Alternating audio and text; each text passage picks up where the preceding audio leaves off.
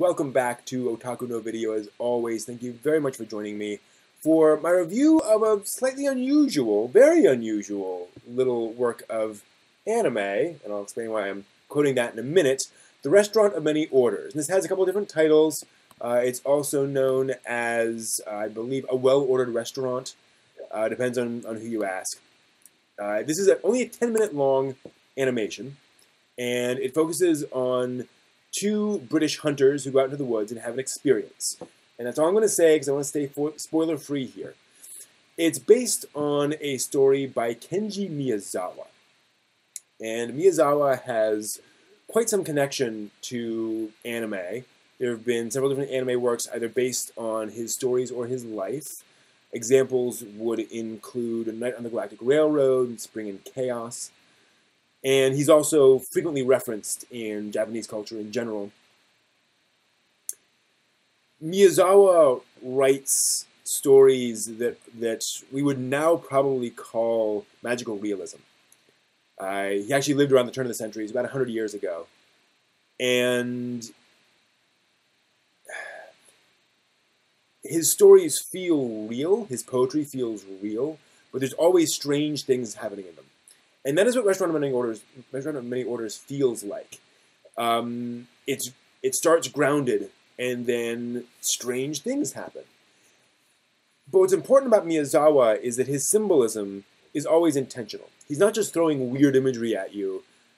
He's giving you images and symbols that connect with the themes of his story, connect, that connect with the characters and what he's trying to say about them.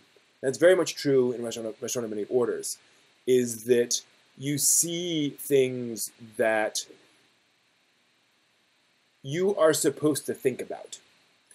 Like a lot of short films, like a lot of short artistic films, this is a film where you have to go in with your mind open and working. Right? This is not just sit back and relax and just let it wash over you. Although you can certainly do that. Um, to fully appreciate this film, there's a fair amount to absorb. Now, it's not hugely complicated. It's 10 minutes long. And while there are some strange images in it, you know, if you sit down and kind of plot out what's going on, it's pretty clear what the messages of the film are. You just got to kind of sit down and think about it, right? It's not immediately obvious. So this is not a film a lot of people are going to like. It's oddball in in concept, and as you can see from the images I'm playing over here, it does not look like anime. It doesn't look anything like anime. In fact, I would argue it's not anime. It is Western style animation. Uh, it's actually more like European style animation, especially that from the uh, 70s and 80s in Europe and especially Britain. And it's it's seems to be very consciously copying the style of these kind of uh, chalkboard animations, these uh, watercolor animations. They're being made a lot of in Britain at the time. In fact, it reminds me a lot of Watership Down and The Plague Dogs and similar you know, British animated films of the of the 80s. And that's one of the things I think is so interesting about this film. It's not it, it has a specific visual style that was clearly deliberately chosen for the work. You know, it's not just this is easy for me to draw, so I'm going to draw that. It's not that this is comfortable. This must have been really hard to draw nobody involved in this would have been would have understood this style. You know, nobody in, involved spent years and years drawing in this style. So to see it drawn this way, it's really impressive. The director is uh, Tadanori Okamoto, who um, basically just did short subject films, uh, most of which were uh, almost all of them were just short films like this. He does not have to his name, you know, well-known 13 episode, 26 episode anime series. He just did these short films.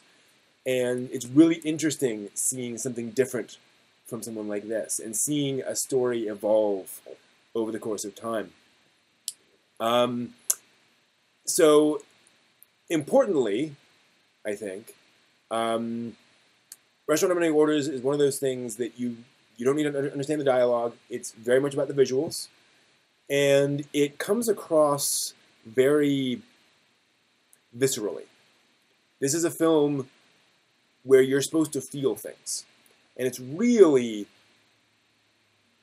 focused on provoking an emotional reaction through specific imagery and specific visual metaphor, right?